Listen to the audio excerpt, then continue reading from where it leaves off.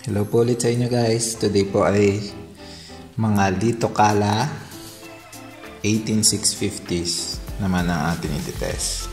Pinili ko po itong mga battery sa Shopee. Ito po sila. Ayan. Bali, apat na klase yung binili ko na 18650 pero pagdating sa akin ng order, tatlong klase na lang dumating yun pala ay out of stock na yung isang model na binili ko which is yung M26 so pinalitan nila ng HG2 model. Um, yung HG2 model ay mas mahal. Bali yung M26 99 pesos lang. Pinalitan nila ng 189 pesos worth na battery So, ito yon yung HG2 model. Ito ay parang copy version ng LG Choco. So, ayan. Ang capacity po nito ay 3000 milliamp hour. Ang discharge current ay 25 amp, charging current ay 4 amps, tapos ang cycle life po nito ay 800 cycles. Hindi ako sure kung tama yung 800 na na cycle life niya. Kasi nakita ko lang yung value na yun sa isang seller at hindi ko naman makita yung datasheet ng battery na to kahit sa official website nila. Walang nakalagay. Next naman ay ang ating Li 30 so 3000 milliamp hour ang kanyang capacity. At ang discharge rate nito ay nasa 20 amps. So mas mababa ng 5 amps kaysa dun sa kanilang HG2 ang cycle life nito ay 500 times lang Ito naman yung susunod. Ito ay ang Li 35S. Capacity nito ay 3,500 mAh. Pero mas mababa ang discharge current niya. 10 amps lang. Next po ay itetest natin yung kanilang internal resistance.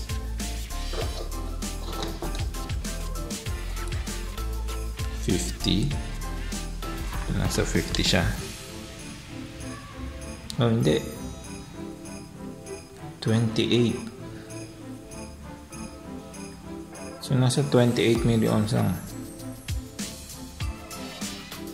27 hindi na natin 28 so mababa. Okay na siya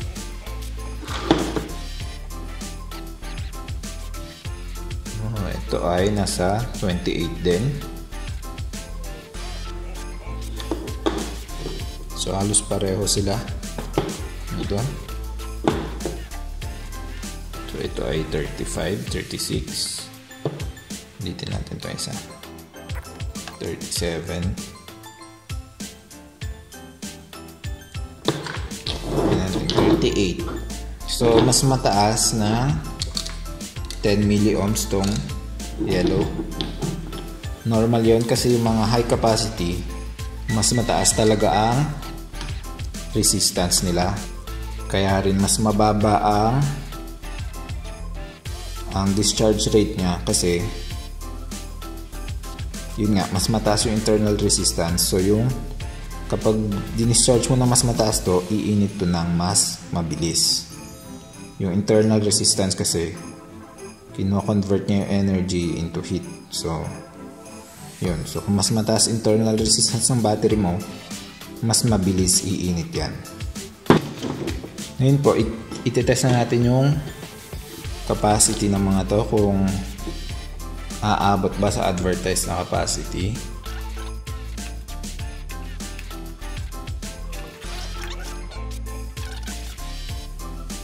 So, ayan, nakakabit na yung battery natin. And isa-set naman natin yung parameters ng charge and discharge ng ating tester.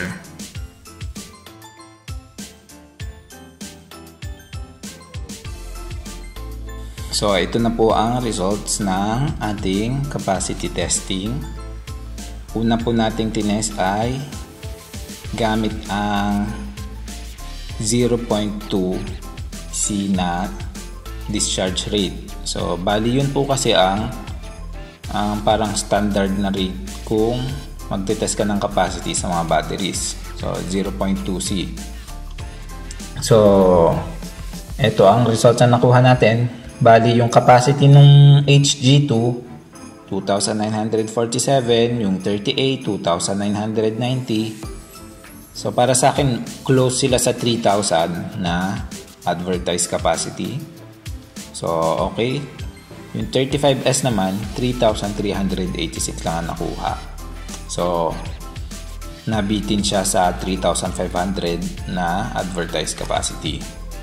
Next naman natin iti-test ay 5 amps na na discharge rate. So, mas mataas na siya. Ayan. Makikita na natin yung results ay yung HG2N30A 2,800 plus ang nakuha. So, nabawasan na ng capacity kapag 5 amps na ang ginamit natin sa pag-discharge. Tapos yung 35S naman, 3,236 na lang ang nakuha. So, nabawasan din which is normal naman habang tumataas kasi ang discharge rate mo nababawasan yung capacity na nakukuha so ayan so bali minonitor din pala natin yung temperature na habang nagdi-discharge tayo so yung HG2 and 30A umabot sila ng mga nasa 45 degrees Celsius so pareho sila kung mapapansin nyo kasi yung discharge curve nila halos pareho. So parang magkapareho lang silang battery. Pareho sila ng capacity, yung discharge curve nila, parehong pareho. So feeling ko iisang battery lang to. Ibang iba lang yung pagkakarap nung 30A or nung HG2, magkaiba lang sila ng wrapper. Pero pag tinignan mo yung discharge curve nila, parehong pareho. Pa halos pareho din ang capacity. So, yung 35S naman, minonitor din natin yung temperature habang nagdi-discharge, umabot siya ng 51 degrees. So, medyo mataas na yun. Para sa akin, yung 5 amps na discharge rate niya ay halos yun na yung maximum niya kasi 51 degrees mataas na yan. Uh, usually, ang rating, temperature rating ng mga 18650s ay 60 degrees Celsius. So kung nasa 51, medyo malapit ka na sa 60 degrees. Mainit na kasi ang 51 degrees Celsius na yan. Kapag hinawakan mo, medyo napapaso na yung kamay mo. So para sa akin itong itong 35S ay close to 5 amps lang ang rating. Bali kasi sa packaging and dun sa mismong advertise niya na specifications sinasabing pwede ang 10 amps.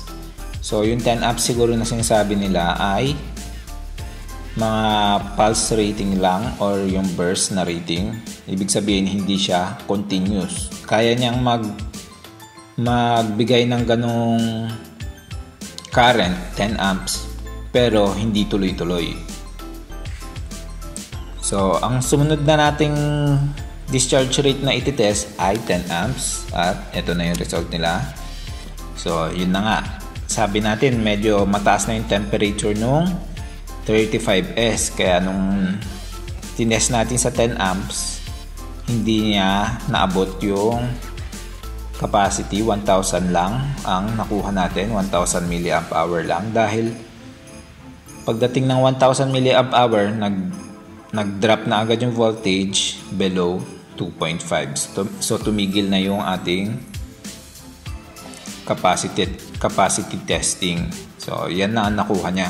Kasi, tumigil na. Yung temp niya rin ay nagstay pa rin sa 51 kasi hindi natapos talaga yung testing dahil nag-drop na yung voltage. Ito namang HG2 at 30A, nakakuha siya ng 2,800 plus na milliamp hour capacity. So, malapit lang din sa 3,000. Okay pa rin para sa akin. Tapos yung discharge curve nila, halos pareho pa rin. Tapos yung temperature nila ay medyo mataas-taas na. So, sabi natin kanina, usually nasa 60 degrees lang ang mga parang maximum temperature. Ito, umabot na sila ng 68 at 69 degrees Celsius. So, mainit-init na talaga yan. Pero, nakakuha pa rin sila ng 2,800 na capacity gamit ang 10 amp. So, ang susunod na natin i-test 20 amps. Pero bago pala natin i-test ng 20 amps, kinompare muna natin siya, yung dalawang HG2 at 30A sa Samsung 30Q. So makikita nyo na yung voltage ng Samsung 30Q ay mas mataas. So mas mababa kasi ang internal resistance niyan. So yung voltage mas mataas at hindi nagda-drop agad. So mas mataas din yung nakuha nating capacity, 2,985. Bali, itong tatlong battery na to, 3,000 mAh ang capacity nila. Pero yung HG2 and 30A 2,867, 2,837 mAh lang ang nakuha natin. So, bumaba na yung nakukuha natin. Pero yung 30Q, medyo mataas pa rin. Yung 30Q, ang temperature niya naman ay nasa 60. So, 60 degrees Celsius lang yung pinakamataas na nakita natin compared dito sa HG2 and 30A na nasa 69 degrees Celsius. So malapit na sa 70 degrees Celsius. Super init na nun kapag ganun. Tinest naman na natin yung 20 amps. Kasi etong mga battery na to, ina-advertise nila na kaya daw ang 20 amps. Etong HG2 sabi 25 amps pa nga. Etong 30A ay 20 amps lang. So, nung tinest natin, ito ang nangyari. Kung mapapansin nyo, ito, pakita ko muna yung video. So, try naman po natin ang 20 amps sa HG2. So, 20 amps na discharge rate. Ayan, tingnan natin. Hanggang 2.5 volts. Tignan natin kung kaya niya. Start. So, drop agad sa 3.0 yung volts. At mukhang kaya naman. So, yan. 20 amps yan na discharge rate sa HG2. Temp natin ay nasa 30 degrees Celsius na. 31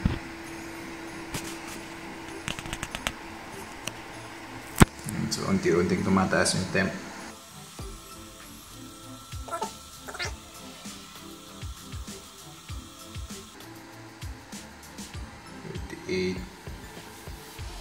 Minit na siya.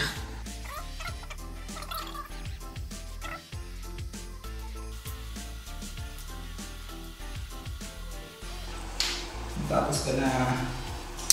Oh, fuck! Nagulat ako. Umabot na 100 ang temperature natin.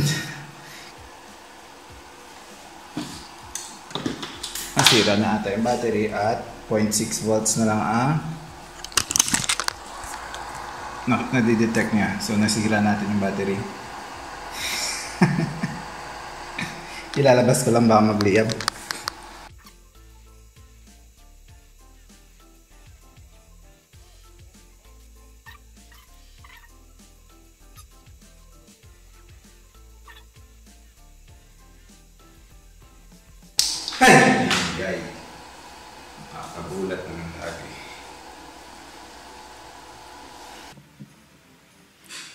Yun ang nangyari.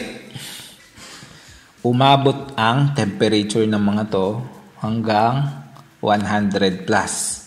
Yung ating HG2 umabot ng 101 degrees Celsius. Tapos etong 30A umabot ng 112 degrees Celsius. Boiling point na po yun ng water. so super taas nun. So yun ang nangyari, nasira yung battery natin. So may protection naman yung battery. Feeling ko may protection yung battery dahil pag abot nila ng 100 degree Celsius, ay parang may fuse na, na, na naputol sa loob ng battery. Kaya biglang nawalan na ng voltage yung ating mga 18650 cells. So makita nyo dito, nag-drop na yung voltage, tumigil na yung testing. So nakakuha sila ng 2155 dun sa HG2, 2452 dun sa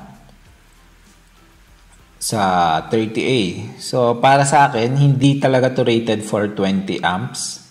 Siguro 10 amps lang kasi yung 10 amps mainit na siya eh, 68, 69 degrees Celsius. So, nasa, nakasagad na yon So, hindi to rated as 20 amps na battery. 10 amps lang. And nung talagang sinagad natin yung battery to, na nakakatakot na dahil 100 degrees Celsius na yung temperature ng batteries natin at nasira sila. So, para sa akin yung HG2 at 30A, pasok naman sa capacity testing natin. Kung hindi ka naman ganun ka kaselan sa capacity, ay yun, pasok naman siya sa 3000 mAh, 2900 plus, gamit ang 0.2C na discharge rate.